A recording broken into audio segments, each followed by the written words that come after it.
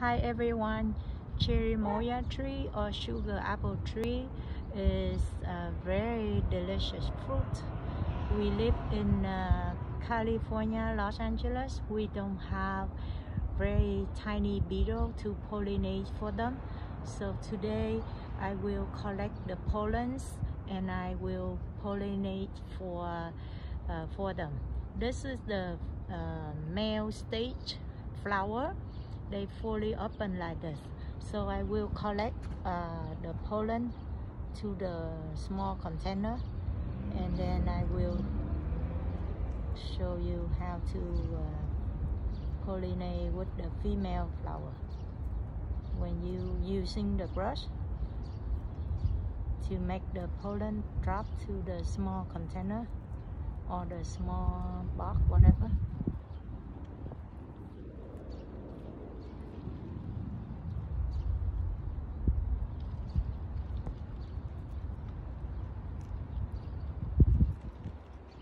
okay. And then I will go look for the female flower.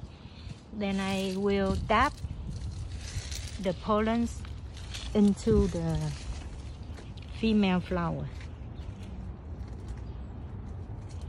Oh I see here. This one is the female flower look like. They are not fully open.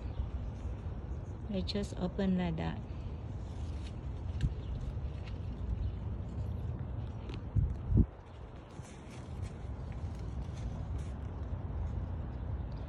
so I will take the pollen from the male flower.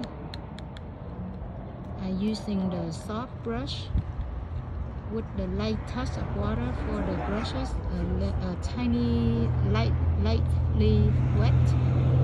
Then I will put it in open open the um, female flower petal and insert inside the more pollen male flower inside the female flower we got more bigger fruit.